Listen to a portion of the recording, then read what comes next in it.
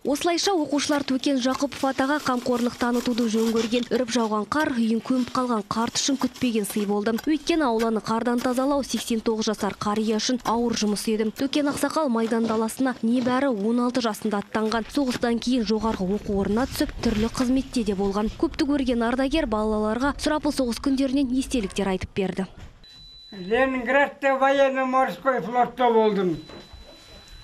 Ә, Бәлкібай қуандық деген ә, екеуміз бірге павлодардан болдық.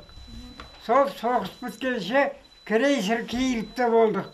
Төкен ақсақалдың жұбайы 80-нің сеңгірінен асқан үйді жиып тазалауда қартана үшін оңай шаруа емес. Ұлдар қолдарына күрек алып ауланы қардан тазаласа, қыздар өз кезегінде үй ішін жиыстырды. Мәрия апа балалардың бұл көмегіне ризашылығын білдірді. істеген міне жақсылықтарың алла өздеріңе сондай жақсылық әкелсін бізге деген үкіметтің көп қамқор тиіп жатыр есіктің алдын күрейді балаларым келіп үйді тазалайды соның өзіне мен бақыттымын деп есептеймін Оқушылар ауланы қардан тазартып, үйді жинап қана қоймай, ардагерге кішігірім сыйлықтарын да табыс етті. Өкінішке орай біз соғыс ардагерлерін көріп отырған соңғы ұрпақпыз. Жастардың қолғабыс еткеніне разы болған қария ақ батасын беріп алғысын айтты. Бір қорғаушы мүшесі болыңдар. Сол үшін дендерің сау болсын, оқуларың жемісті болсын. Аллах акбар, Аллах акбар.